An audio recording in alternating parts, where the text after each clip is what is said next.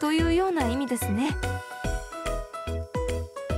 敵の言葉や行動が許せないものだった時つぼみはそう言ってキュアブロッサムに変身するのですぞ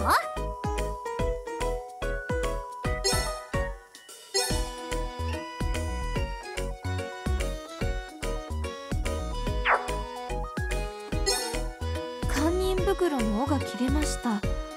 今まで言ったことのない言葉ですねレイはめったに怒らないもんね。ふーんそうなんだ。わレイちゃんの背中にムカデがは早く取ってください。待ってて私がすぐに取るから。それにしてもなんでこんなところにムカデが？あれ？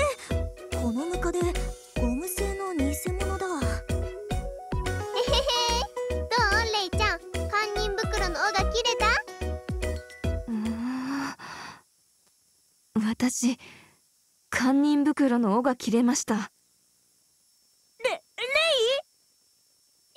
ごごめ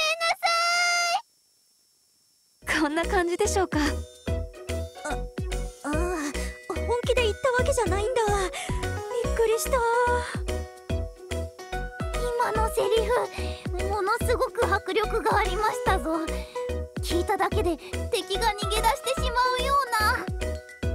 くるみさんの言うように次のステージで行ってみたら盛り上がるでしょうか？いややめといた方がいいと思うよ。さすがに変身しすぎだったから。